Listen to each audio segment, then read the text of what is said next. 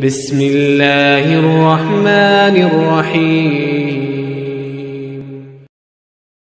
Kalau dalam hati kita terbetik suatu kebaikan, ya, jangan kita tunda-tunda, jangan kita tunda-tunda, segera kita kerjakan.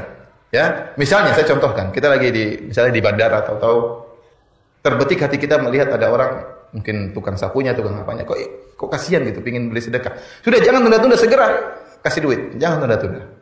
Karena tidak tahu itu kita lagi dibukakan hati kita oleh Allah, lagi pingin kebaikan. Kita sudah dibukakan hati kita, jangan tunda-tunda. Segera kita sumbang orang tersebut. Contohnya, antum lagi duduk di rumah atau toko ingin baca Quran, segera ambil Al-Quran, jangan tunda-tunda. Antum di pagi hari tahu-tahu terbetik ingin sholat duha, maka jangan tunda-tunda. Segera berwudu kemudian sholat duha. Ya.